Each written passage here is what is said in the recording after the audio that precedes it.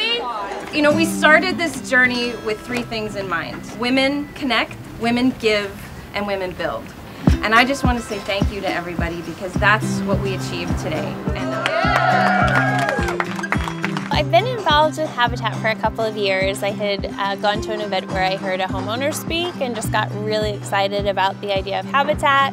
Started going on builds, got more excited, got friends involved, and sort of the culmination I feel like is today, you know, being with hundreds of women and helping to build this home.